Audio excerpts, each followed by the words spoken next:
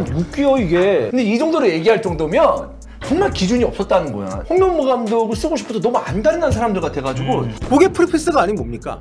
유럽 가서는 그들의 생각을 듣고 판단했다면 여기서는 홍명보 감독한테 오히려 이임생 이사가 PT를 한 거죠. 이게 free pass가 아닌 뭡니까?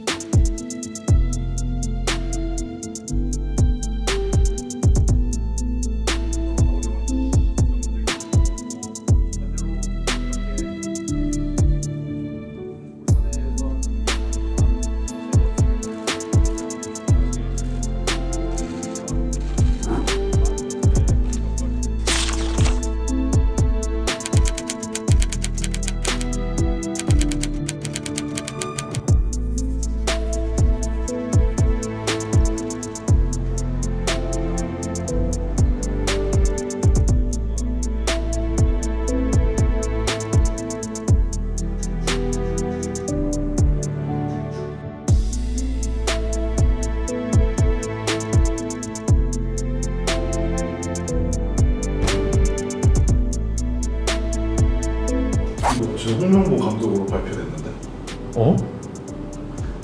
진짜로?